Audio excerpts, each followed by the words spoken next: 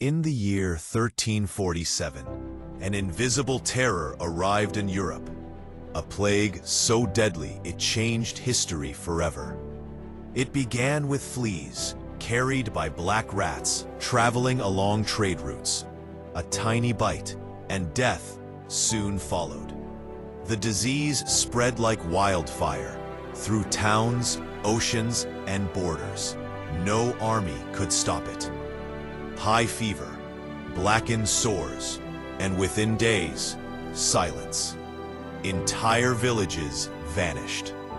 Between 1347 and 1351, the Black Death killed nearly one-third of Europe's population, around 25 million souls. But from the darkness, society changed forever. Medicine, labor, faith, and power. This was not just a plague, it was a turning point in human history.